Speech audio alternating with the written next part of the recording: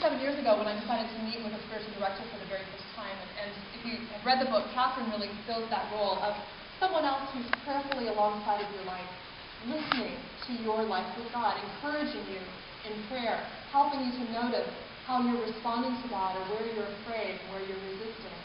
And um, I went to the spiritual director for the very first time, and not knowing anything about spiritual direction, I assumed that she would be assigning me um, spiritual disciplines to practice. And I assumed that she would give me uh, the really unpleasant ones, like fasting. And so I went in expecting to be assigned fasting. And instead, she listened to my story and she said at the end, oh, Sharon, I, I sense that God is inviting you. And I thought, here it comes her. celebrate, to practice celebration. Like, what are you talking about? What does that even mean? And she said, you have taken such care in your relationship with God. You have tried to be so faithful. I just sense that God is inviting you to practice receiving His love and celebrating that love.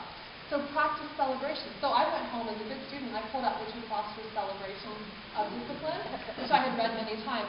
The one thing that um, drives my husband crazy, I'm an avid bookmarker upper.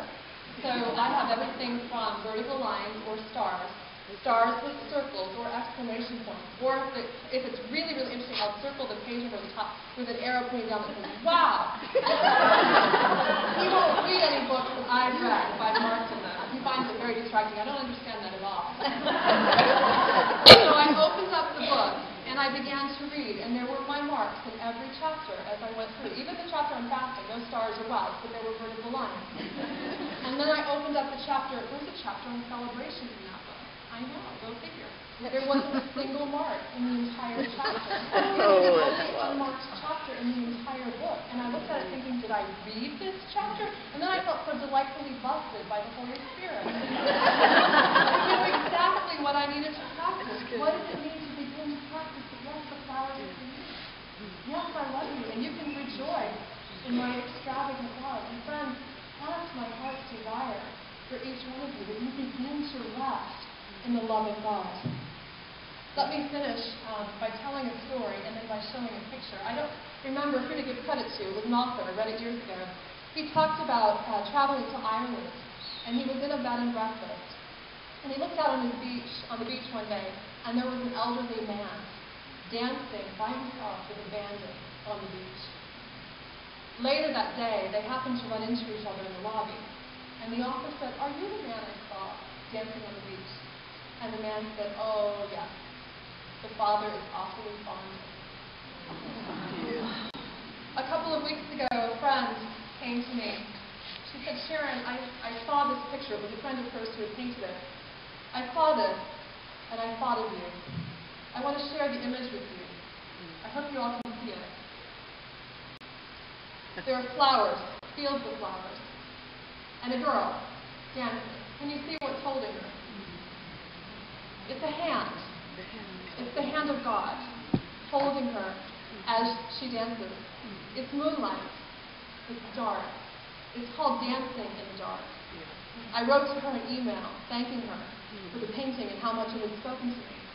She told me that it emerged during a season when she was practicing spiritual disciplines like Lectio Divina and centering prayer and walking aloud and praying with imagination and she was praying one day, and she saw a picture. It was a dark and difficult season in her life.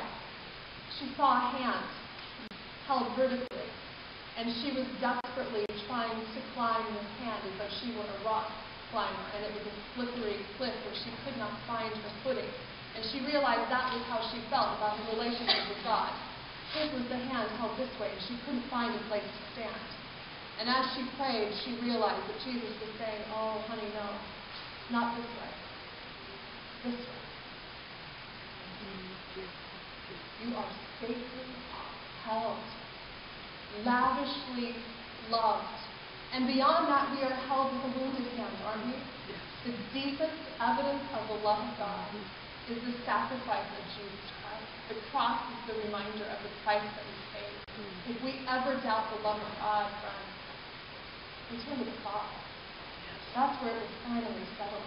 You are held in a wounded hand? And are we free to dance and enjoy that the flowers really are for us?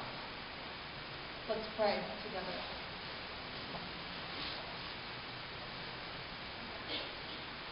Lord, your love is uncontainable.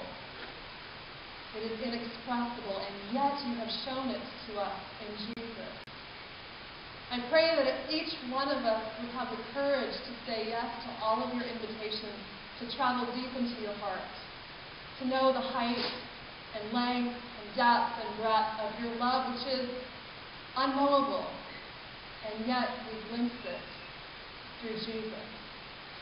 Lord, do in us and for us and through us things that only you can get the credit and the glory for. We long to receive your love and rest in it, and then respond to it by loving not only you, but your world in return. But let it begin even now, O Lord, with a deeper yes in our own spirit. Guide us into the practices, the holy habits that will bring us into your presence and intention.